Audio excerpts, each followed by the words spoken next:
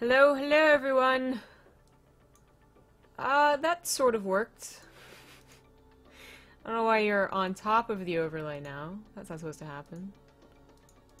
Oh, that's why. I figured it out. Beautiful. Hi, Rifkin!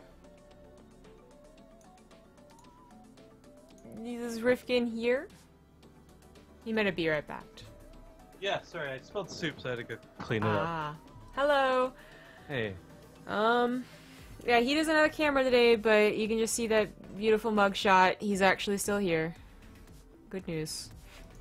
Uh, we are casting the semifinals of the Collegiate Star League, and that's why we've been bumped up to the big leagues, I guess. we've bumped up the main channel, which is pretty cool. But I'm definitely, um, you know, aside from that, I'm more excited for these actual games. This is what's going to decide who we're going to meet and cast live in person at DreamHack Austin, and of course, who has even greater chance at the grand prize of that sweet, sweet scholarship money. So, Twitter has added this new ha moments feature where notifications used to be. Yeah. And I'm trying to find, you know, where the CSL tweeted so I can go retweet it, but it keeps bringing the moment page, and it's making me so mad. Why are they trying to make this a thing? Stop making it a thing. It's not gonna. It's not gonna Uh, work. Anyways, I was hoping to ask a favor here, and this is like a not a great one. Because I spilled a lot of my soup, I didn't get to eat any of it. I've been cleaning it up. Would you mind just YOLOing this first one while I eat? I do not mind, and in fact, let's just get right into it since you're already in the lobby. Okay, I'll mute myself. I'm watching though. I'm watching. Okay, okay, we'll be able to talk about it at least. Yeah, I, I don't mind. I've actually, um, I, I've actually had a really tough day, but like this is not going to be a sob story. It's just that I'm surprised at how much energy I have. I don't know. I guess because I had the vacation and before. Oh, you don't want to see that. Oh, just ignore that thing that popped up. Um, and uh, I was just saying, like I had the vacation beforehand, and then we had like all those days off, and then I come back, and that Tuesday, the day I again don't cast. It feels really weird. It feels a lot more comfortable right now than it has doing no casting, okay, and and no streaming. So I'm glad to be back. But in the top right, as the teal Zerg, it is going to be Star Elf. Uh, let's check what uh, what team he's playing. I just had it up too. Oh, I have to get used to, to Twitter uh, not being on an application anymore, which is going to be really bothersome to be honest. Wait, why is it not on your application that use TweetDeck? Yeah, well, TweetDeck's gonna uh, go down on April fifteenth, so I have to get used to having it on the Oh. web. Welcome to being a pleb like the rest of us. Oh, I'm just taking so a break annoying. from muting myself from it. Say, don't worry, baby, but we miss you. We're all glad to have you back. Oh, thanks.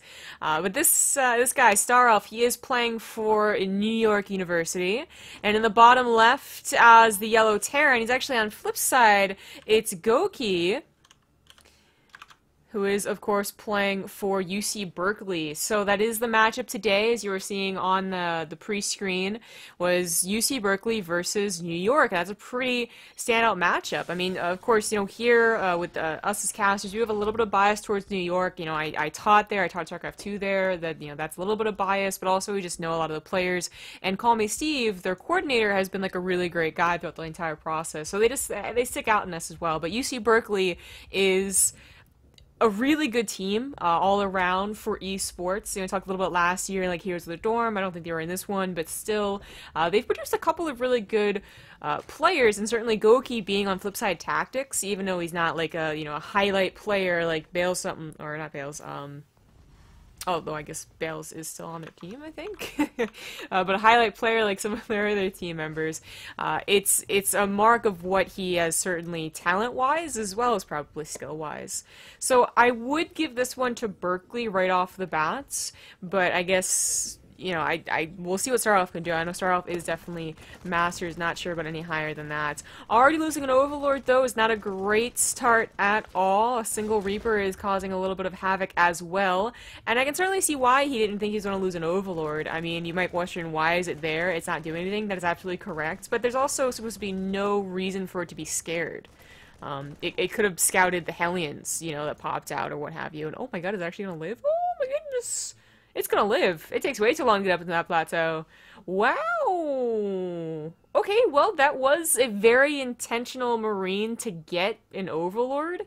Um, now it's going to be a marine that can possibly deny scouting and should be able to deny scouting. I mean, like run back home and, and hit the thing like five times and it's going to go down. So it's it's still like kind of a useless overlord, but it didn't die. It didn't supply block, block them. You know, it's not a hundred minerals you have to remake. It's not a larva you have to use for something that's not a drone. So I call it pretty lucky for Star Elf.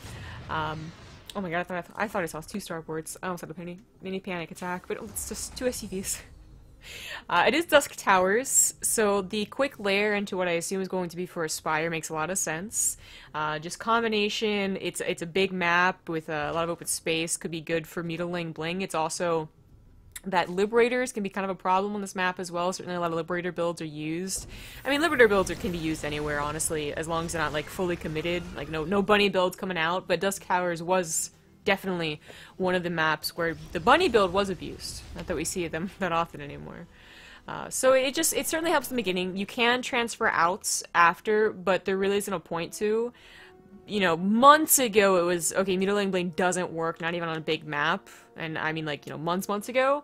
Now it's like Muta Ling Bling can kind of work on any map, but um, you would always see people transfer back into roaches because they thought that that was the only way to play in Legacy of the Void. Yeah, not so much anymore. You you can go the the old standard. Now this Hellions getting in here is a little surprising. You don't really think the Hellions going to do very much, but oddly enough, this was consistent in Heart of the Swarm as well. If you only got four Hellions, uh, that sometimes is a big red flag that they're going to suicide. Uh, in Legacy of the Void, it could be even a bigger flag, especially if you don't scout a medevac with it, which, you know, they saw the Liberator right now, that they're going to suicide to the front. If you saw a medevac, then, you know, it's, it's Hell, Hellion uh, drops. Or a Hellbat push, but we don't see that anymore uh, that much either. But anyway, it didn't take very much to clean up, and in fact, I, I don't even think, like, how many drones went down? Okay, five total. So the Reaper, this Liberator now, and I guess uh, the Hellions, so... Obviously, the Hellions don't help very much. You know, they, they uh, the Liberator will always one-shot a drone. like, you know, maybe a Banshee coming in, but still. They, uh, they helped. And it looks like Goki, important to mention, is not going for a third CC.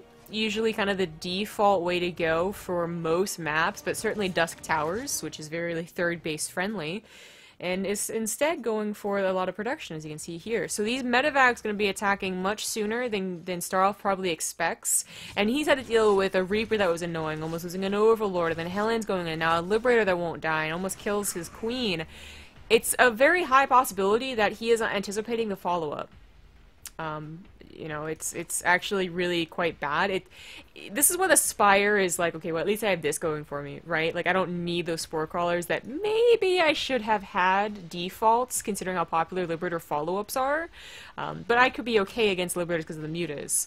But not against 16 Marines that are already unloaded. If the mutas were out catching two medevacs, oh my god, this would be such a good thing for Star Elf but it's not the case. They are actually going towards the natural to get a little bit of help from the Liberator, I suppose, or back up the Liberator, like either way you want to you want to put it.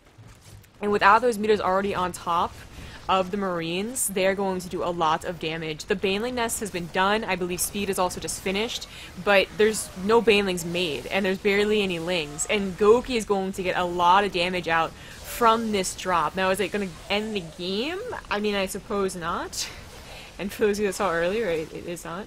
Um, well, but it certainly is a lot of damage. It's a really great start for Goki, and his macro just doesn't. It, it has to be sure not to slip behind this. Uh, Liberty getting a couple of lings, you know, that's that's really not that great. Um, it didn't have much much else going for it though. Medevac's getting out would be really good because he has a follow-up push already ready to go. Uh, this is definitely an interesting two-base push. Certainly a, a, a, two Medevac drop without combat shields is uh, quite a standard two-base push in fact, and then eventually you get combat shields and plus one, plus one. But uh, the engineering bay I believe was delayed, so now it's double engineering bay which is just it's usually not what you usually see with the two base push. Usually it is one engineering bay, one upgrade then the other, but that's uh, splitting hairs, I suppose. Uh, going on to creep like that, and then oh, that last group of marines really hurts the follow-up push. Now, luckily the Widow Mines are still up for Goki. But his medevac's going down, and his marines are still coming in one by one. So this should be something Star Elf can push back. And what's really important, that coming in one by one without medevac support, I don't think Goki should be able to get the fourth base. Which I think is the like the the least you can get from a follow up push on on a two uh, two bases for the Terran here is uh, should be that fourth base. and then it's a question of okay, can the Zerg hold on on three bases? But that's not going to happen for Goki. And Star Elf should be feeling really good. Now, his drone count certainly needs to get up a little bit more. Uh, only at 47 and starting to get a little bit oversaturated. Needs to transfer the drones around a little bit. That's not ideal. You know, missing three from here, missing three from there. Um, but that is something that he, he should have time, like, right now to, like, maybe sneak in six, seven drones. I think he'd feel a lot more comfortable doing it if creepers spread right here as well. That lack of vision and just you know knowledge that I do not have creep spread uh, could make him so very paranoid. Um, another thing would be if he was actually scouting the lack of a third, which I don't think he is. This overlord might have ducked in a while ago, not sure, and it might be the case that he notices they're not like you know um, sparkling, which you can see uh, on the mineral line when they're being mined. But I think he might be too busy to even notice that. So um, basically, even though he's not scouted to no third base, it is appropriate for him to, you know, take this as seriously as possible because this is a big Marine force. Accidentally picks up a load of Marines, and the Banelings just absolutely wreck the Marine army, but isn't enough still. The 1-1 upgrades, mind you, have been in effect for a long time over Star Elf's 0-0, but it looks like the Baneling hits were good enough. The mutant count, it's not getting extreme, but it is holding at 9, which is like the bare minimum basically of what can help kill like widow mines and medivacs any fewer and you're just going to have to spend way too much time over those marines. Uh, any higher and well you know you just start one-shotting things and you risk the uh, the counter attack which goki has not had to worry about at all this time.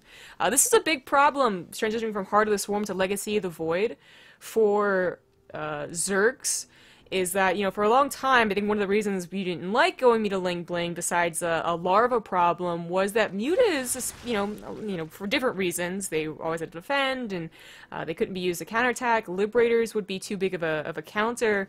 They weren't getting that counterattack damage done, which in Heart of the Swarm was like the number one threat. Okay, the Mutas came out, and you know, two-base Muta was a very popular build, and you were just pinned into your base as a Terran for a long time. And if that count grew to like 20 or 30, you were like starting to get screwed, you know?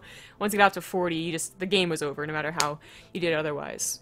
Uh, Legacy of the Void, not so much, especially with Liberators. If the count really does grow to an extraordinary amount, you get like four Liberators, two to defend, two to push, something like that, and uh, one mistake will cost them all their mutas. So I actually really like that Starelf is not committing a lot more minerals and gas to his mutant count.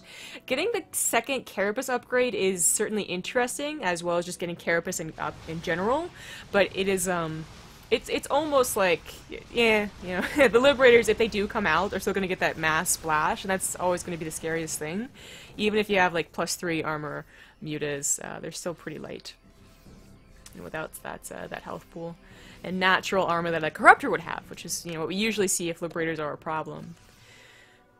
But anyway, um, he does have to be really careful. You know, I just talked about how I like he's not investing so much into the number. Uh, now starting to get like five more. I think 20, 25 max because once you go into 30, I've seen like one too many games where Liberators do come out and Mutas do die, and the Zerg player who is like, oh my god, Muta Ling Bling is so good now, like, why would I ever stop using this style, gets pushed back.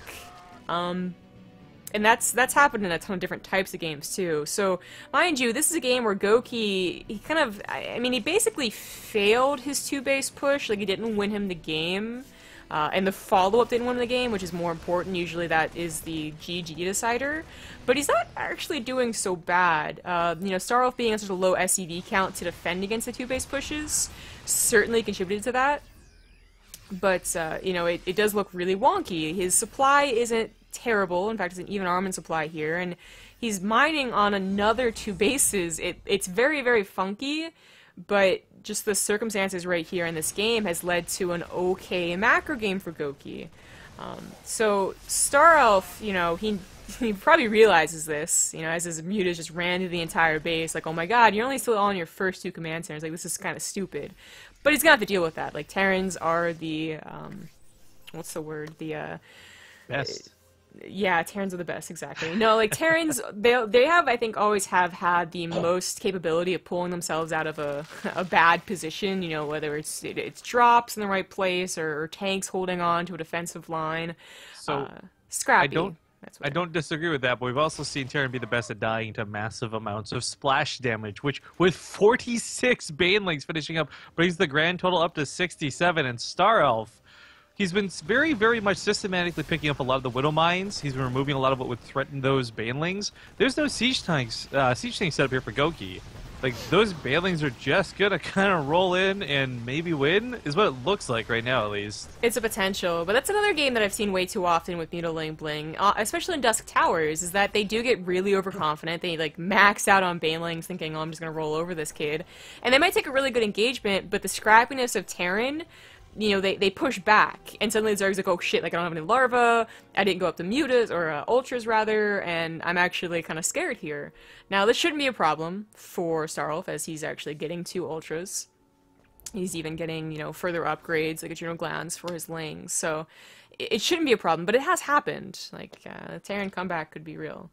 I just I feel like what I enjoy most out of Star Alpha is not only does he have this one amazing force that could either win the game gloriously or defeat himself humiliatingly, it's the fact that so much of this I feel is going to come a little bit down to RNG. Like, how do these Widow Mines go off?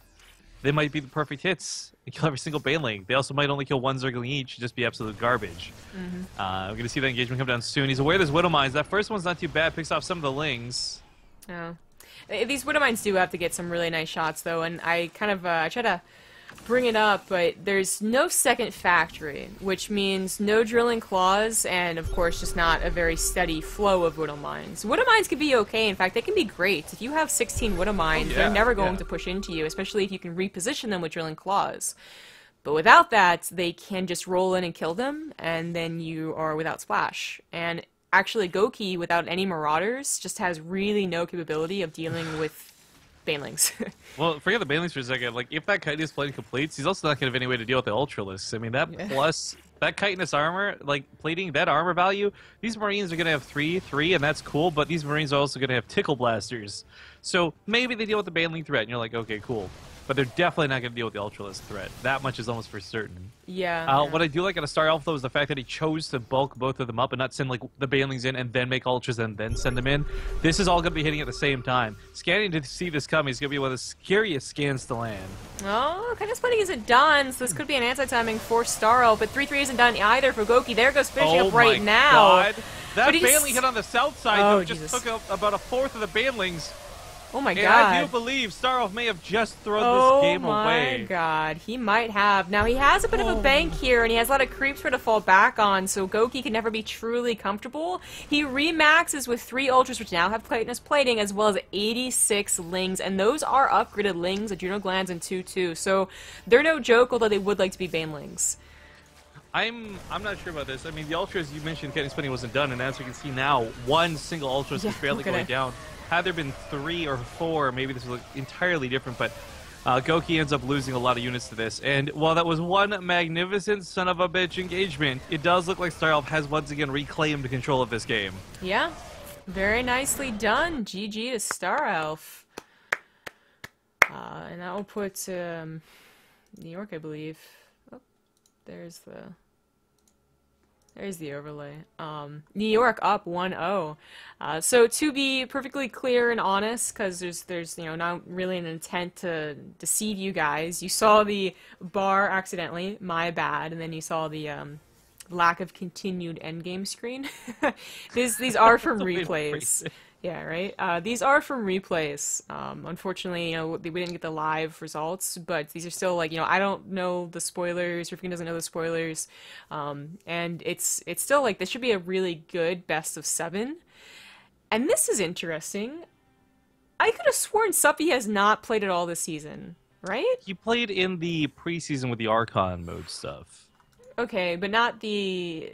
Uh, Not the, I don't remember regular seeing him in the regular season. No. Yeah, that's what we'll call it. So this is really interesting to see him coming up in stage uh, or game number two, Suppy versus Shu. I, This Ah. feels to me like did did we get this replay from 2015? Like, I Yeah. mean, that, that's that's the type of thing I expect. But okay, so maybe it's a little bit odd seeing Suppy, maybe it's not. We'll see how he's handling things. I know that last time we cast Berkeley, we did kind of make some offhand jokes about how is he still playing StarCraft or not, what with his uh, focus on YouTube, and more importantly, schooling uh, having had some success in Heroes of the Dorm, and we really didn't know where Suppy sits, and we still don't know where Suppy sits. But at the same time, Shu is not the amazing player either that he once was. Both players kind of, let's say, fallen from grace.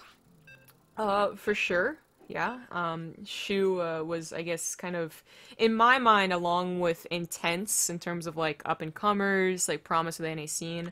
Is this always gonna pop out autom- automatically? That's really annoying. Well, uh, do we have any? Can you put the CSL logo over that, perhaps, so it doesn't spoil for people or something? Um, no. I don't. I have no idea how malleable it is. so- because that yeah, it's connected to the uh, the bar at the bottom.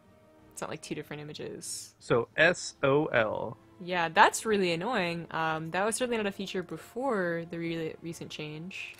Well, luckily we don't averagely cast things on replay, so this shouldn't be something that affects us too much going forward. But at any rate, it is going to be game number two.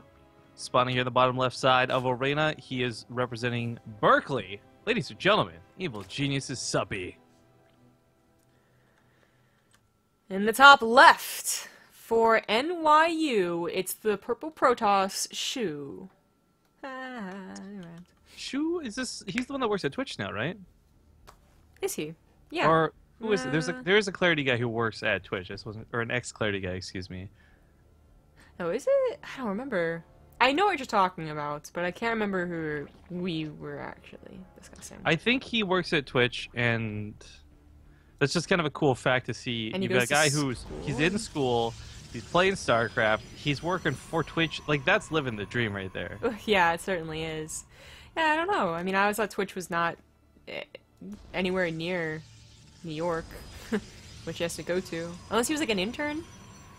Um, Well, actually, Twitch doesn't require people to be like uh, I mentioned to you. There's people who live here near me in the middle of nowhere, Canada, that work for Twitch. So it's uh, pretty sure not something you have to be able to go to the office necessarily to do. yeah, I always figured though that those were, I guess, very specifically like out of main Twitch offices. Because I've also known a, You I've know also what? known a couple of people that had to move to get the job. So You know what's super awkward right now, by the way? what? Not the builds, but the builds are a little bit awkward. Suppy's currently playing on the Tespa stream, representing Berkeley over there for San Diego at the moment that we're casting this. Yeah, um, that is a little awkward. But it's certainly interesting to see Suppy not once but twice now just being brought out. It's like, you know, oh yeah, we have this guy. Like, I guess he's he's found enough time to get back uh, into StarCraft. But the question is, how good is he? I mean, we made a couple jokes about his Minecraft and his girlfriend, and it's. Uh, Oh, like I'm remembering, too. life, but Actually, we'll save this comment for after the uh, game's done, but just a small note about Shu uh, once we're finished. But, anyways, the Shu is perhaps not expecting Suppy to do what is looking like potentially Overlord drops. It says tentatively because there's no Evo chamber yet, but uh, he's making that third queen. He's got the speed on the way. Boom, evolution chamber getting planted. This is a map specific build. You won't see this build come down on pretty much any other map. And this is something that has won many games here on Arena. We've seen it multiple times. And I think the most disheartening part about this is not looking at it and being like, oh, well, you know, Shu made one small mistake. Or it, it's usually really on Suppy to mess this up for Shu to hold. Yeah, yeah. Um, Terrans have, have basically figured it out. Absolutely. Maybe a lucky mind shots, but otherwise, um, still okay with Marines walling off the natural and pulling your SCVs.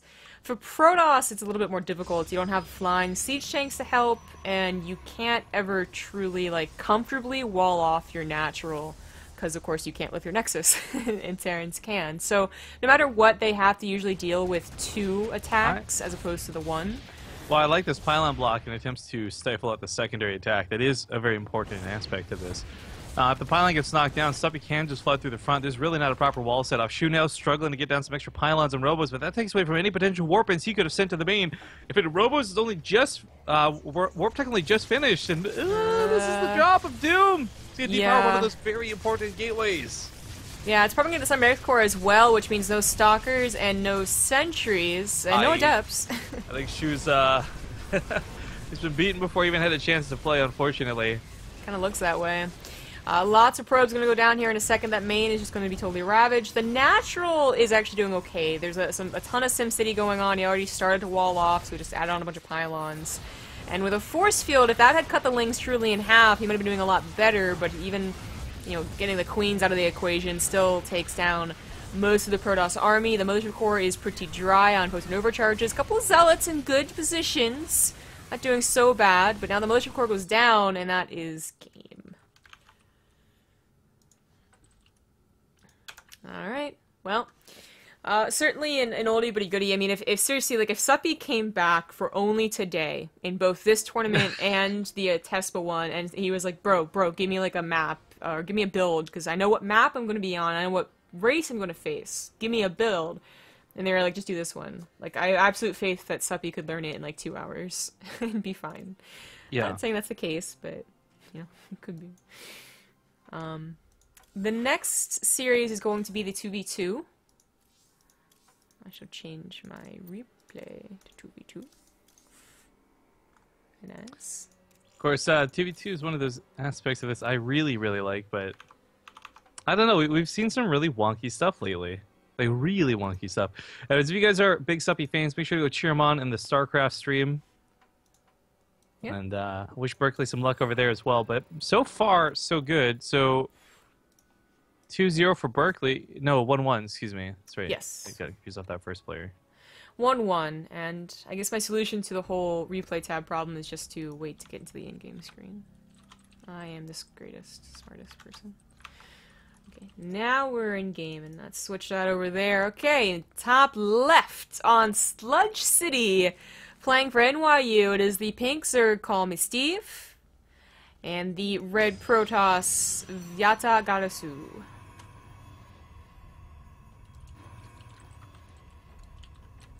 Uh, and his, or their opponents, I guess, combination of Udi, and I guess I don't know which camera you're on, sorry, I just realized. Uh, Udi Oopsie. and Polar Bear Me. There you go.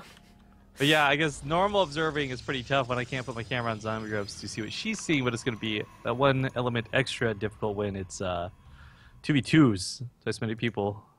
Oh, whoopsie, I pressed the wrong button. My bad. Anyways, uh, 2v2 goes a lot of different ways. One of the things we always try to remind everybody at, though, is they do have a rule where you can't have two people intentionally on the same race on the same team. So, for example, as we see Protoss on each paired up with one Zerg and one Terran, you can't go both Protoss, you can't go both Terran. Uh, you can play random though, but it's funny because even though we've seen a lot of people try and chance out getting a double race combo with random throughout the season, we've never actually seen it happen. Yeah, no, I don't think we've ever seen a stacked team, uh, and we've seen plenty of randoms, mind you, but no one got lucky. So in the playoffs, um, especially from the round of uh, eight and onward, I'm pretty sure the round 16 too. Uh, we've actually seen a couple of teams, and that's why we see again this team not utilize a Zerg in their composition for 2v2, whereas you know 90% of the teams were. Um, and in fact, we're even trying to get the double Zerg with the random going on. So this is one of those teams that is Protoss Terran. Uh, the Zerg strength is that it can either be your defense early or your attack early. You know, like they can six or uh, twelve pulls. My bad, I'm um, Heart of the Swarm now. They can twelve pull offensively, or they can like fifteen pull defensively against the other Zerg. Uh, considering there is no other Zerg, though, the risk of being attacked super super early was kind of low. I mean, these could have been proxied barracks, so that's, it still happens, obviously. But uh, Call Me Steve actually playing the the greedier game, going for this hatch and you know transforming all his drones, I think is a lot better. Do still have to take this three racks Reaper seriously, though, even if it is not proxied. Yeah, I mean, the, the thing about the three racks Reaper that we've seen a lot, Reapers start getting ahead of power, the Reapers suddenly fumble in power, and because you dedicate so much to just Reapers, there's no real fallback for it. So I am a little bit worried about Udi devoting so much to this, but at the same time, if it if it gets those kills, it's worth it. Hmm. Problem is though, I spied with my little eye an Oracle being made, and if you're going Reapers and if you're going for an expansion, neither player really has a safe mineral line zombie grub. Yeah. Well, you know, Polar Bear is going for a Stargate as well. Um, I don't think it's going to be finished in time to get a Phoenix out to protect either one of them, but eventually it will be able to. Uh, Actually, he did get a mothership core, and there's a pylon in the mineral line, so the Protoss player might be okay for the time being. But, but that Oracle goes cross instead of to the bottom, straight to the Terran base. Udi's in a lot of trouble. Yeah, it should it should be across. You know, there's been scouting in this game Yeah, it looks for like is, too. NYU. Yeah, and they realize it's three racks Reaper.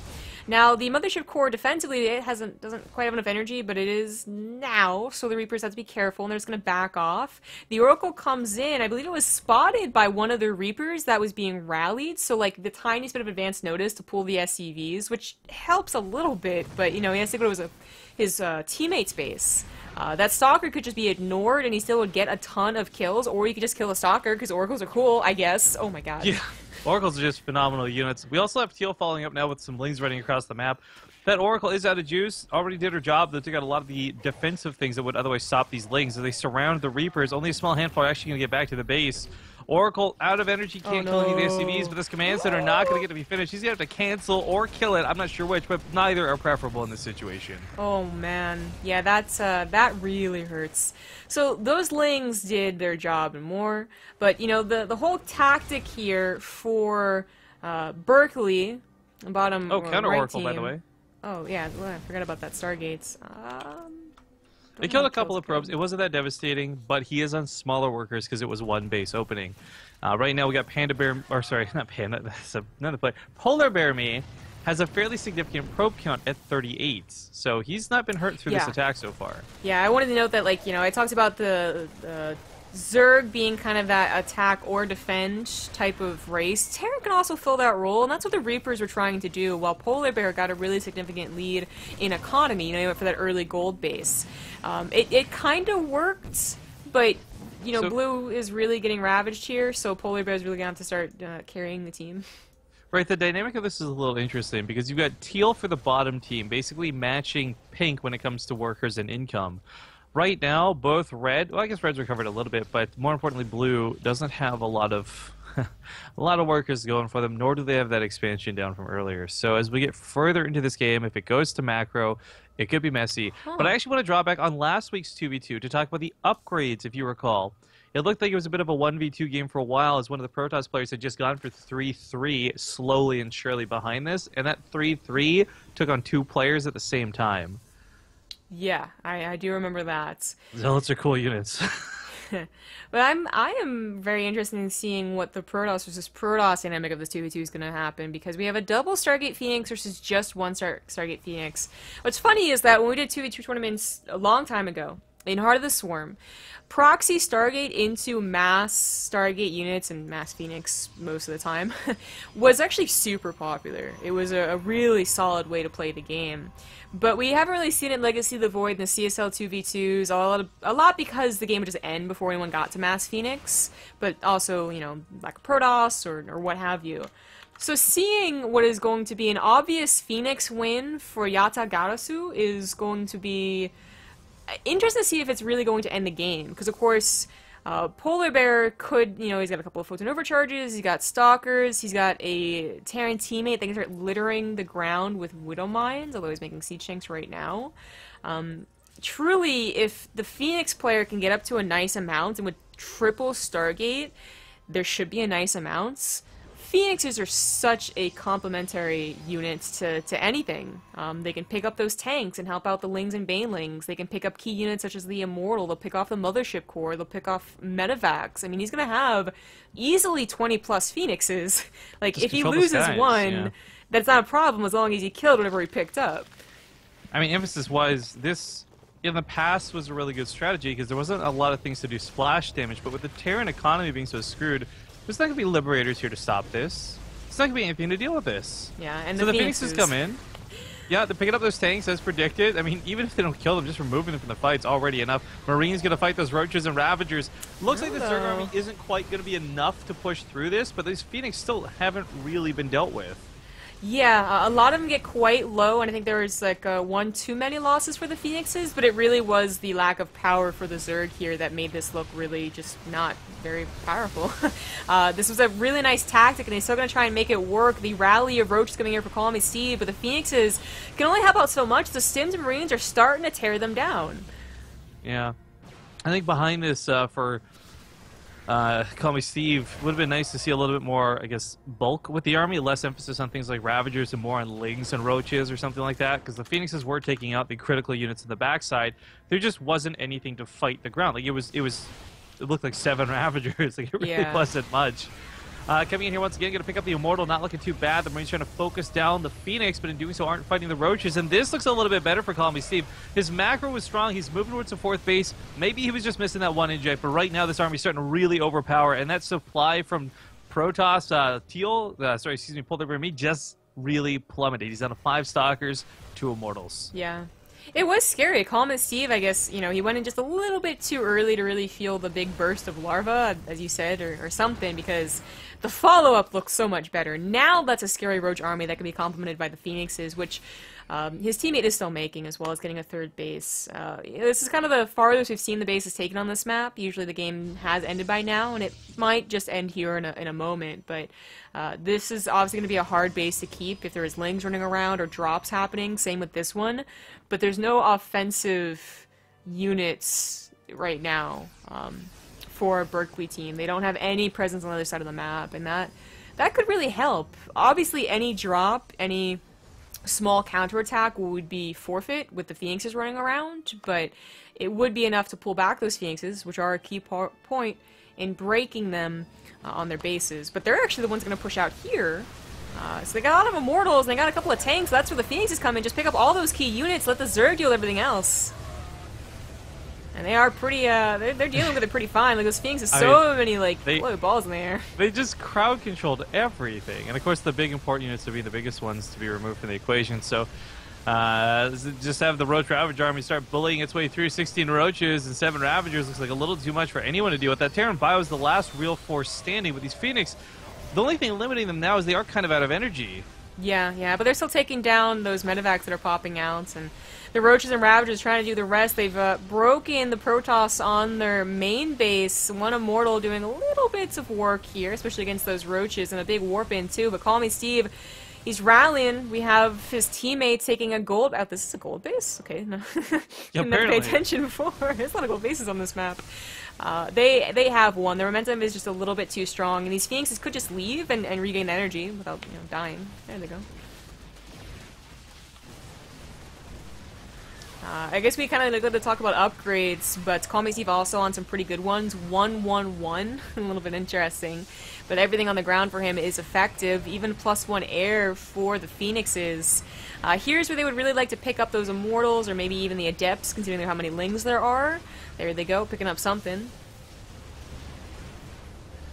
It's uh, really just starting to go too much one direction at this point, and uh, I don't mean a wonderful boy band, just mean in the favor of the players. So for NYU, a good a good lead going to be getting back in their favors. They did start the series 1-0, Subby brought it back 1-1, and now we have that 2-1 lead for NYU. Very nice. I gotta tell you, I'd be very. I've got no bias against Berkeley. We just, I feel like not only has NYU been really fantastic in regards to watching players play, but they've also been always, almost always, you see Steve, if not someone else, like in Twitch chat for all the CSL matches, and they've been really invested in this tournament. So for them, really nice to see a lead. And I'm hoping to see this extend even further. They would be, they would be a great set of people to meet over at the uh, DreamHack Austin finals. I feel like you know maybe Call Me Steve noticed, or maybe they're just you know, like a good bunch of people by default. But they're also that team that like you know if I said Archon mode say here, they'd actually say here, which gets a lot of brownie points in my book. I mean, it sounds silly, but for those who don't know, the uh, the the struggles of working with amateurs has been rather profound. And I've got nothing. I've got nothing particularly rude to say about any one player or anything like that. It's just just this culmination of people not being ready to go. When you've got a team that is actually dedicated and prepared and ready, it really does stand out. And the we'll call it professionalism, I guess, of NYU has been great this whole season. Again, this is no shots fired at anyone else. They've just really stood above the rest. Yeah. Uh, okay, we're going into game number four. This is the Archon mode match. It's going to be on Orbital Shipyard. In the top right for NYU, it is the Pinkzerg Archon of Grasscutter and Steve. And to the bottom left, we're gonna have. We already saw once today. Goki come out and play against uh, their opponents with Securachio. Yeah, uh, this does look familiar for at least the NYU team. Not uh, too much fresh in my mind for Berkeley uh, about who their 2v2 team is, but certainly Call Me Steve has always been the Archon 2v2 guy. Well, I wish I could remember. Uh, again, for those who don't know, so this isn't lack of uh, compassion or anything. Like, we just cast so much stuff in between the CSL games. I wish I could remember because Goki, I think, wasn't he the guy who played that rematch with Shrek in the Archon mode in the previous one, or am I thinking of a different player? The rematch in the Archon mode, Shrek. I think I know what you're talking about, and it does sound familiar. Couldn't confirm though. Okay, well, if it's the same situation that I'm thinking of, uh, Goki's certainly showing he can play twice. There's no doubt about it, but uh, we'll see how this actually goes. One of the weird things that we, we learned recently, especially in the round of eight going into this, how deadly a no-show can be, especially when your roster is very mm. tight-knit. You've used up all your good players in situations already. It's very important that you know, we don't know which players are left on the roster necessarily. We don't know who's showing up this week versus not showing up this week, but planning ahead became very apparent to us in last week's round of eight when it came to the CSL. And I am curious, like, what players are being purposely reserved. Like, this has been a definite concern we brought up with what seems like Archon mode more than even the 2v2, where this ends up being a bit of a throwaway match. You'll stack a bad player with a good player and just say the good player hopefully carries in a lot of these instances. Yeah. Now, I'm not calling anyone here bad, but that's what I'm asking. Like, is this going to be the situation? Did they put Goki out again now because they know he couldn't possibly play the ace match, or what is the choice there? Is he just an amazing Archon mode player? We don't know. You know, those kind of extra strategies actually come into effect here. Yeah, actually, like last week was a real bummer for um I can't remember the uh, Toronto, wasn't it? Because I remember like you were disappointed. I, I believe it's Toronto. Yeah. Yeah, you're like I'm just putting a Canadian right now. Um, yeah, did not have a player show, and you know this was uh, a problem. They had to have a sub in that you know wasn't ever going to win basically, and it was a little unfortunate. But just speaking of that, uh, we did get a, a, tweet here from Call Me Steve, a guy that's been really active with the cast and whatnot that Shu apparently had to travel to California and played his game in a CD internet cafe. Now, mind you, Shu is the, the guy that lost here. He lost against Sup. Shu lost, too. I think, a lot more to strategy than. Well, yeah, uh... yeah. I'm not saying that's why he lost, but I'm saying he showed up. Like, okay, so that was at least a better than zero chance of having to be like, oh, well, I guess that's a forfeit. Let's go on to the 2v2. Yeah. So kudos to him for at least trying. Uh, but any, anyway, um, we do have a very standard TVZ right now. Uh, you know, we'll highlight the differences that Archon and 1v1 can can make later when we actually have a couple of units really being used. Maybe the handling control's a little bit better something like that. But right now it is just standard, and the micro player is probably feeling a little bit bored uh, for both teams. But um, at least they got a Reaper. It's denying a third for a while. You know, I'll, I'll just comment on that too while we're uh, things sort of heating up. Still nothing really definitive going down. One of the things I really wish we would have Blizzard do is uh, Archon mode is a fantastic matchup, but it's honestly thrown a bit to the side by everybody, not just uh, you know maybe college kids, but also the pros who dedicate to this game, their lives. Like no one really sees this as serious forms of competition, and I only see this as like one of the coolest opportunities to play. So I would hope that moving forward with StarCraft at some point, we start seeing better indicators of like who's doing what. We're always guessing: is there even a micro player versus a macro player? Maybe they're both actually doing everything like Demuslim and Major described in their games. You know, mm-hmm. it's such a shame because Archon mode could be such a just glorious thing. Yeah. So we have a little bit of action as those Lings are kited and the Hellion just run on through. We saw this earlier today. The Hellions didn't do so much damage and the Zerg player still ended up winning.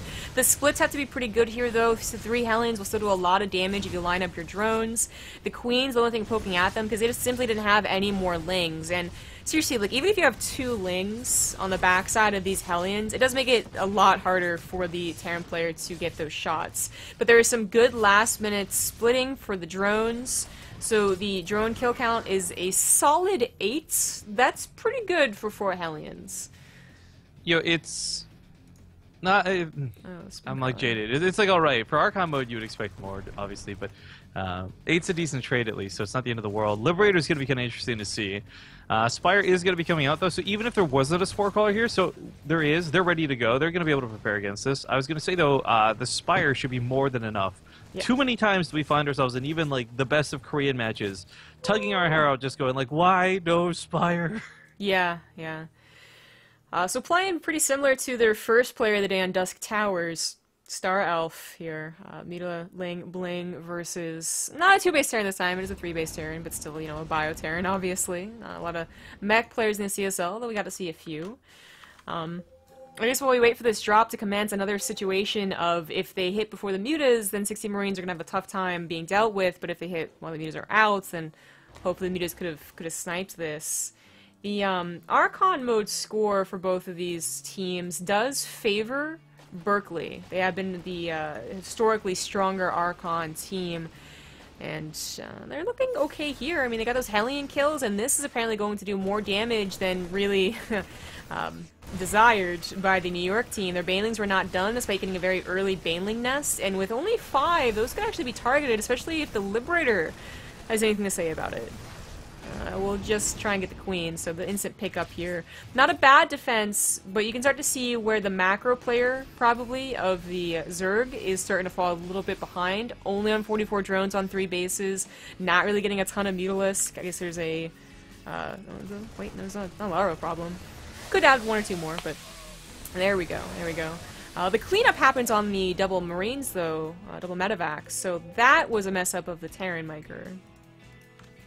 Yeah, actually, that's kind of hmm, a better way to describe Archon mode in some instances too. It's not about the new new heights you can reach together as a team, but more about the less mistakes you're supposed to be making together.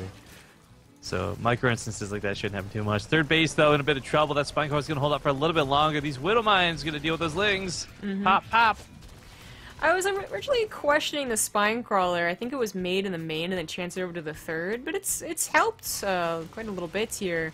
And the supplies have certainly been evening up as the drops from the Terran player have not really been working. Um, so as long as they live, doesn't matter if they really do a lot of damage. But you know, if they live, then I think it's it's always great. But the fact that they are dying could have been a problem. But more importantly, a bigger problem is for the Zerg still, who are still not at a good drone count, trying to get a fourth base, trying to break down their rocks. They're not even really utilize this fourth base, except for maybe some larvae, but certainly not for uh, actual mining with such limited drone count. I'm trying to open the rocks up for possible expansion. One thing we get a little bit worried about here for NYU, they don't really have, I'll say, good upgrades on the way. Like they have upgrades coming, mm. but it's like in terms of speed and plus one for the Mutalisks. Don't think that's really gonna play off yeah. too well against the one-one Marines. I guess uh, and Goki don't really have a lot of upgrades themselves, but I mean it is better standing for them. One-one finally starts up for the NYU Zerg team. Yeah. Uh, the macro of the Terran team is just starting to really surpass that of the Zerg. Uh, again, still not at the ideal drone counts. Now the question of the fourth being denied is starting to become a problem. And as you said, those upgrades were started quite late. I mean, they were going to be later because of the opener, you know, getting that speed first as well as the mutas, but uh, they're still pretty late. Uh, Spine Crawler just sniped and then leave back into those Widow Mines, which don't get the greatest hits, so it's a nice splitting from the microplayer on the Zerg fronts. But it is the, the macro game right now, and they are definitely losing it at half the army supply. They would have to hope for some killer Baneling hits to make up for that. No overseer, please. it's just like awkwardly sitting there like... Mm. Scan goes to the third base, seeing what the army looks like, how big the army is, and with this entire Terran army, including some Liberators in your arsenal now, I think that should just be not quite stim and win, but yeah, push and do a really good job. you know, maybe not bulk up your, your Widow Mines like that, but uh, still, this is looking pretty good. Maybe a couple Marauders could be included on the front line to soak the Baneling hits initially, but honestly, the Widow Mines can do that too if they're lined up against the wall. They are clumped up, that's where a couple of Banelings probably would ideally be sacrificed, but there's not actually a lot of Banelings to sacrifice. There's not a lot of Lings turn into Banelings. Oh, this is so worrisome. That army supply from Terrans is growing a little too big, and Goki, Sakura Chio, unless they take the worst Baneling hits of their lives, this is going to be, I think, maybe one of those death blows. They do get hit pretty hard, but there's so many more Marines where that came from. Yeah. Uh, they might just be cleaned up? No, actually. With good enough splits, the last amount of Banelings are not going to be able to take everything out. So the mutas all die. Queen dies too. And that's going to be game and an even score once again in this best of seven. Yeah, it's uh, a little bit awkward, but I mean, the last couple of Banelings trying to hatch out are just going to get picked up by even the Liberators. Yep. Uh, I guess just sticking in it. it it's. This is really a do or die time. No one wants to lose a game, even though they have three other games to fall back on, three other teammates or four other teammates, depending, I suppose. Um, to fall back on, it's uh, it's a case where this could be your last game of the season. You know, for Call Me Steve, who definitely can't come out as ace, for instance, and doesn't want to give up too easily. But this is certainly game. You're on two bases against three. You're the Zerg player. Nope. Nope. GG.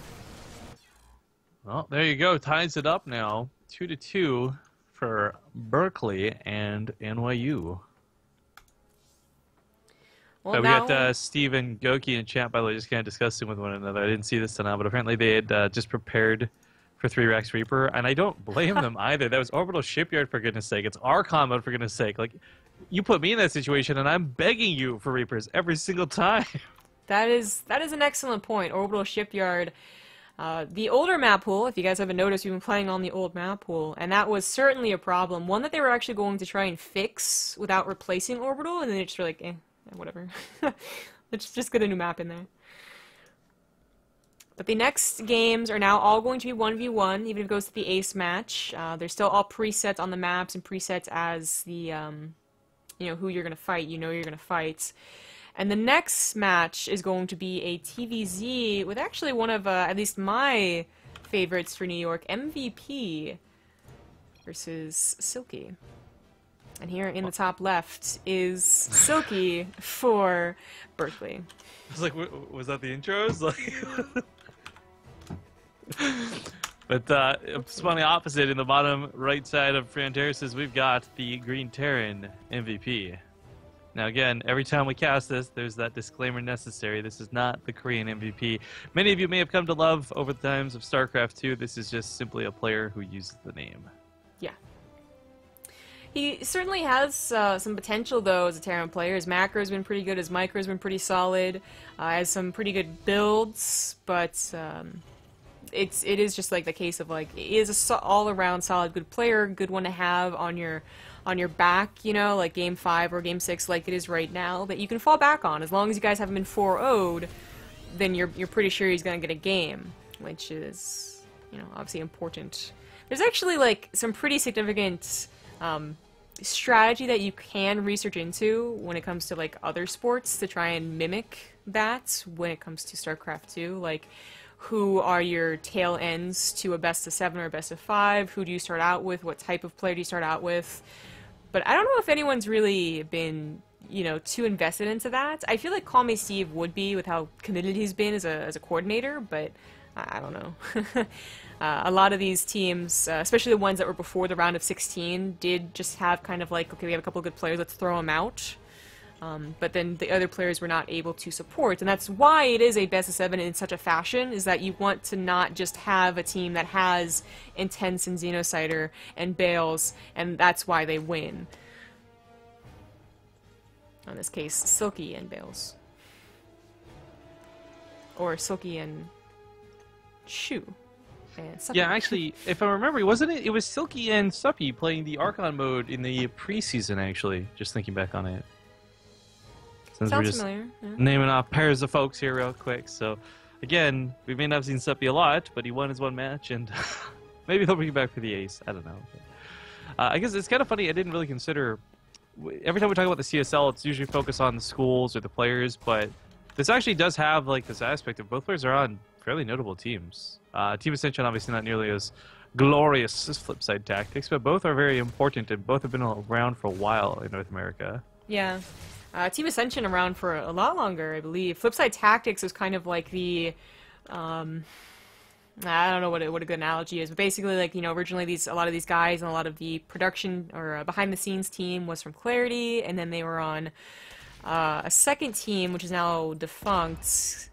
Uh, which I forget the name of it was, and, and now So I just thought the Flipside team name was defunct. No, no, no. Sorry, I, I just can't remember the name of it. Um, but now a lot of them are back on onto Flipside Tactics. You know, a couple of them have graduated onto bigger and better things like MYI and whatnot. But it's just whenever I see Flipside Tactics, I'm like, oh, like Clarity guys, without the uh, um, the head honcho who has since been like long gone from StarCraft. Pretty sure. What's his name? I'm a, I'm a good rememberer today. Uh, does go down, but it did at least get a little bit of a scout, see what it did see. So Tech Lab on a factory with a later starport that's not right next to the factory. Um, this tiny little thing can tell you the difference between it being a Banshee build and a tank drop build, which is a tank drop. Yeah, tank drop is actually, speaking of which, something I would have expected to see in Archon mode more than anything else. But uh, while the actual aspect of dropping and focusing on the drop can certainly be a problem, Oh, uh, can you sleep at the front? Sorry, Package. delivery, delivery guy came in my window. um, I got that 360 degree camera, by the way. Ooh. So, kind of oh. expensive, but we'll play with that at DreamHack a bit. Uh, at any rate, what was I saying here? Drops, right? So a really important part of the match, and especially up on terraces, where if not flooding legs with the extra gold minerals, usually an overinvestment in roaches. So I think tanks are in general a good idea. Having a couple medevacs to maneuver them around is absolutely what you want. But I'm really glad that this isn't actually a focus on tank drops because if it was for harassment's sake, that's too much effort you have to put in for too little return. Mm, I agree. Uh, the widow, or sorry, the marine drop without a widow mine it had like one space open, it fooled me. Uh, the Marine Drop does have a lot of power even without Stim, because it is such an early part of the game. And in fact, we have our Zerg player Silky trying to transition a little bit into Roaches, which he's done now, and this should have just been picked up immediately. But, uh, you know, it, it could have been a, a, case of Marines with a medevac, even without Stim, can take on one or two Roaches at a time, for sure. That's uh, just enough here. I gotta go grab this. This is a really expensive package. I don't want to leave it outside. I'm sorry, I'll be back. Uh, so yeah, the tank was just used defensively, and it would be wise of MVP to continue making tanks, to be honest, because now he's confirmed that it is roaches. Thing about Prion Terrace is that it's almost always roaches. It's like a very, very safe bet if you have zero scouting that they're going to do a 1-1 roach push. Um, if not that, then just roaches in general, which is what we're seeing. You know, he's going to have a very quick infestation pit, but still roaches in general. And in general, you want to have tanks against that, not widow mines or um, hellbats, I guess, the other option from the factory, and, and certainly not Thor's. But it's not the only composition. Mass Bio does well against it as well, but usually only when you have a high medevac count and decent upgrades. So that's where like things get a little bit scary. Um, if you are going to play like that, then drops are certainly a necessity, and they are just not only a necessity, but they're just, you know, it's a really freaking good idea. They're going to have stim soon, uh, very, very soon. They can pick up this drop. And so you, what's going to be more important is if MVP scouts an infestation pit so he knows he's going to be worried about being attacked. Okay, go. So you want to know where this gets a little bit awkward? I don't know if I should offer this guy help. He's sitting at the end of my driveway. It looks like he's looking at his engine like his car broke. I just got around outside my underwear and grabbed the package and ran back inside. I don't want human interaction. Bye bye. Yeah, pretty much. Yo, yesterday, um, this old guy, okay, and, and thankfully it was like a innocent looking old guy, okay, like someone's grandpa. He just like pulled over in a right hand turn lane, you know, not like into a residential area, um, on a busy street because I was walking slash jogging, and just waited for me at the end of the street so a good five minutes for me to walk back, you know, over to him. And then he asked me where uh, a, a nearby high school was. And I was like, man, that's a little It's like in the nighttime, and who would just stop in the middle like this and just wait for me? It was a little weird, but yeah, uh, just a bit. Uh, he didn't look like he didn't look that crazy. Oh my god, when we were leaving the um, the hospital, I was being driven by my brother and my sister-in-law, uh, we passed by this guy, and my brother had the most terrible things to say about him. I felt so bad. Like, luckily the guy couldn't hear, but basically he looked like a serial murderer, and uh, pretty sure he's gonna go steal blood or something from the hospital. Oh wow! So you're bringing this up with me because I mean, you know, no reason. Just you know, just be careful. Is this the uh? Are you afraid of a serial murderer or a vampire? Vampire. No, no, no. Vampire. You know, you, you just you just suck them dry. You don't you don't kill them. Whoa, whoa, whoa! Phrasing. Whoa, whoa, whoa, whoa. Phrasing. anyway. uh, okay, so I mentioned that a very important part of this game was going to be scouting what type of roach game it was. Now, simply by the lack of an attack, you can tell that they're not going for a 1-1 roach push, because it's past that time already. Um, but you would have liked to have Scout uh, the Infestation Pit as a Terran, which I don't believe he ever did. The, the, the drops tried, but they just couldn't get past you know, Queen Defense and uh, what are Fungals. So they push into an army that was well prepared with a really good concave. The tanks are fungal, can't be lifted. Luckily the medevacs get out, and it's a pretty hefty medevac count, but I just feel like MVP was very caught off guard by well, first of all, army positioning. He definitely don't want the tanks out in the open like that, but also Yeah. just uh, composition. Like, I don't see many Marauders here.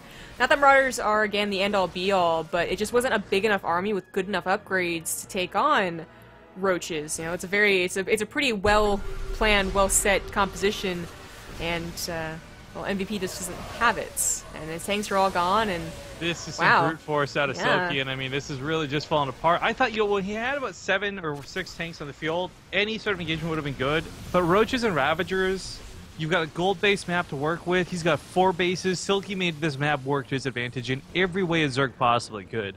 Mm-hmm. And this is uh, this is spelling doom. There's some medevacs in play. Maybe we see a fungal growth or not. I don't know. It's just so many Ravagers, Zombie I don't feel like Yeah. you could possibly kill them with the firepower that's here. Yeah, and this is the probably the worst we've seen MVP lose. You know, like I was saying earlier, he's usually a very solid, you know, good all-around player. But yeah, maybe the map combined with the uh, the the composition was just too much for him. He got kind of kind of stomped there. So now it's Berkeley with the three-two lead. This could be the last game. Yeah, uh, being a best of seven, this will go to four. Whichever team gets the four first wins. And if that's going to be the case, then Berkeley is going to go to those finals, and maybe we'll get to see Suppy or meet Silky. I don't know, but uh, it's not looking good for NYU. I feel a little bit Oh. bad cheering them on early. Maybe I did some some preemptive cast or cursing. Preemptive, you know, post replays. yeah, I was gonna say. Yeah, it makes sense. All right, well, let's get into potentially last game. It's going to be on Lerilak Crest. And we're going to have a couple of familiar names Grasscutter and Sakurachio. Okay. Make sure you don't see what time it is. And let's get that score up. Uh, yes, that's what it's going to be. In the bottom right, his team is down one. All hopes lie on him. It is the Pink Zerg Grasscutter.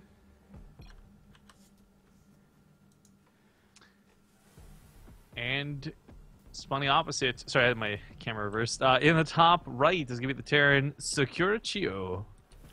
Now, of course, it was Sakura with Goki that did manage to win the Archon mode match. So maybe carried by Goki or maybe carried Goki. We'll find out here in this match. Yeah, we will.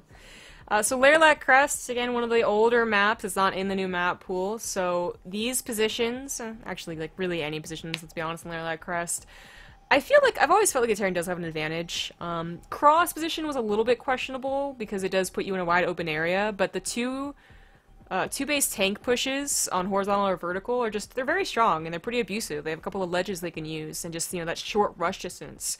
Very very often we'd see a Roach Ravager push versus a two base tank push, and the two base tank push um, would almost always win. You know, controlled properly. But towards the end of this map's life, which is about a couple weeks ago, it, it died. we did see a lot of Zerg surprisingly just start going for two base Spire into Muta Ling Bling, which I always it wasn't the worst map for it. I, I hate when Zerg players go for that on Arena. I still don't know why some do it. But there, that Crest like wasn't so bad. Um, but it, it is going to be up to Grasscutter to decide here. He just saw his teammate fall to a very powerful Roach Ravager composition, but that was on the back off of uh, off the back of two gold bases. So very different uh, like timings on, on when you're going to push, how strong your push is going to be. Uh, you know, with a regular old no gold base map. Yeah, I, I mean, this map, uh, I guess it's been a while. I guess it's kind of fun to consider. We're so used to the new map Well, It's been a while since we've seen Lerilak, but one of the things I often remember and always want to emphasize is, especially in these spawn locations, how much of a pain it is going to be expanding. So, I mean, it's not gold bases, and you're going to maybe struggle with thirds. Usually not. It's fourths that become questionable most of the time, but uh, I think definitely spawn locations do favor Grasscutter here ever so slightly. Especially in Oh. regards to going later in the game. But right now, the Reaper getting some nasty shots in.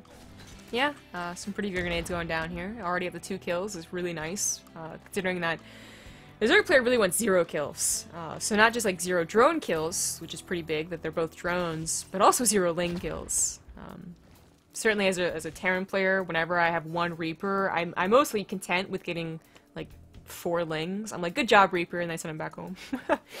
or away to scout later, but uh, two drones, nice start for Sakura Chiyo. He's got the starport on the way, which makes a lot of sense, but not the tanks. Uh, you start that tank count early, you can get a very high tank count. Uh, maybe start off with a Widow Mine drop first, which is certainly, uh, I think, everyone's favored go-to into tank build.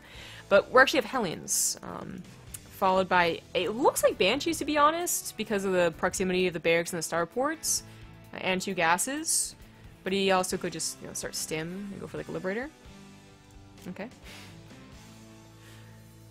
This would be deceiving to a, an Overlord Scout, but this Overlord Scout has speed, so even if he was, like, aware of the possibility of a fake, you just go in, like, two seconds later. yeah. Uh, they're too fast, like, one or two Marines isn't gonna stop this. Too fast, too furious. Yeah, Overlords. Too fast, too furious, you know, episode 6. Actually, I'm wondering, so... The guys who play the CSL, right? Uh, they're gonna go to DreamHack Austin, they're gonna get a chance to play in the CSL Finals. Are they allowed to play in the open bracket too? Is there going to be any restrictions on that? I hope so. Like, I really hope they do uh, time that out well, because I think a lot of people would love it. You know, get the chance really to go, cool, yeah. and then on top of that, actually participate in the tournament. One that is not dominated by Koreans and probably not Europeans too, because Tour, uh, uh, DreamHack Tour is, is right after. No, actually, I wonder, is it called DreamHack France or DreamHack Tours? I actually don't know. I heard something that may have been different earlier today, and I realized I actually have no idea. I thought it was DreamHack Tour, and you don't pronounce the S, but I don't know. DreamHack France is just, it's it's a cop-out, I feel, for not being able to pronounce Tour correctly.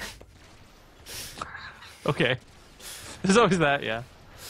Just like, uh, you know, DreamHack, um... Oh, man, what was the, what was the really no one ever pronounces the DreamHack. Uh, oh crap. Oh, les- lazy pig. Yes, exactly, like lazy pig.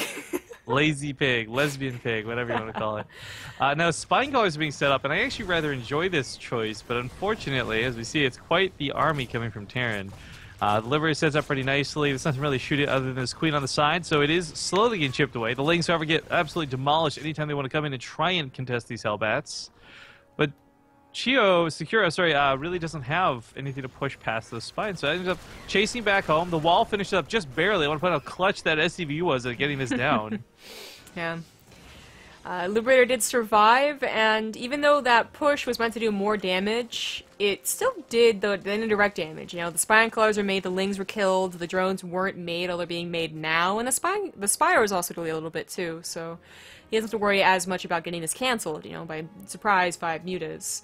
So Sakura is still in a good position. Uh, it is definitely surprising. I think the surprise factor was certainly his his um, his reasoning here to see a Hellbat push, both in general and on Lerilak Crest. Because in general, Zergs are still getting roaches, even though they're not going for like pure roach compositions. They're at least getting that roach warren initially, which mm. is why I've personally given up on my Hellbat pushes. Like I've just pushed into too many roaches too many times. But he's still continuing here. Those Hellions transform back into Hellbats to break down the rocks. Um, eventually going to just be giving a favor to the Zerg, but, you know, right now it's a little bit scary. Well, it's kind of cool because this actually ends up tearing down. Like, the Liberator set up this nice choke off on that ramp. So first off, nothing can really run away, but nothing come here to reinforce either. A spore, a spore crawler is going to finish up, and funny enough, it's actually going to finish before the rocks are burnt down. Burnt down? I guess I just said that, but uh, they are being burned away by the Hellbats. Yeah, that makes a lot of sense. Well, uh, certainly an excellent point about the Liberators uh, choking off the uh, the drone reinforcements, or transferred rather. But the Spine Crawlers could not be targeted, so that was a smart move by Grasscutter. Now, I'm looking at the macro here, and it's worrying.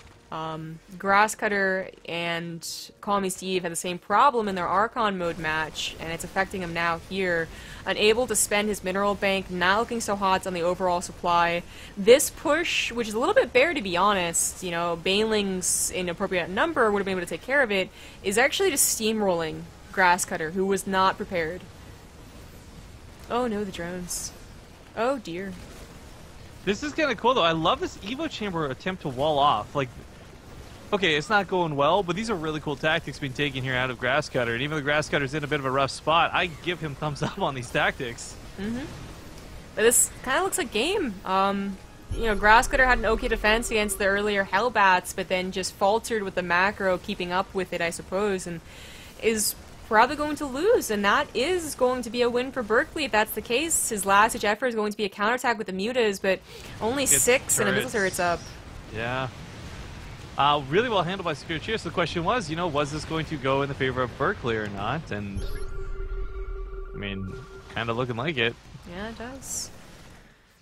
Uh, quite unfortunate for New York, who uh, certainly is. Uh, I've actually already met a couple of the guys. I was looking forward to see again, but uh, we're gonna be able to see uh, Berkeley versus the winner of the next series coming up next. So we are casting both semifinals today. The next map's gonna be Temple versus uh, Arlington. Uh, this match not quite done, but I just can't see a way for Grasscutter to come back. Yeah, a little too far gone. I thought he, I thought he did hold really well initially. He had the good moves to build static defense against the Liberators and not actually try and throw units or queens away into it. But at the end of the day, I mean, this is just kind of uh, a bit too far gone. Mhm. I didn't realize that Sakura Chio was on uh, one once entire time, very upgradeless game, but GG, congratulations to Berkeley. We'll see you at DreamHack Austin. And sorry to New York, who got really, really close, had a great showing, and obviously had a 4-2 score, is, is did not do bad in the semifinals, but just could not get the win. Uh, with that, uh, do you need a, a break? You go to the bathroom. No, I'm I'm Okay. Gucci whenever you're good. I I mean, I'll take a break. Okay, well, I just, you know, let's say we don't have to wait for anyone, have to wait for the team to show up, because this is also going to be from replay, so we'll just hop right into it. And like I said, it is going to be between Temple and Arlington. I was pretty impressed with Arlington. That, that name sticks out for me. Uh, they do have the much, much better score. You know, between New York and Berkeley, it was a 6-1 score versus a 5-1, so Berkeley with the better score did end up taking the win but you know, so that's a very close one. I- It could have gone either way. However, Temple with a 3-3 score and Arlington with a 6-1 score. Arlington, I would certainly say, is the like, um, uh, or rather, uh, Temple is the underdog. Arlington should be the not quite shoe in to win, but pretty good. Before we jump into it, though, could you do me a favor? Yes. There's a there's an out of game screen that shows the full roster of players, right?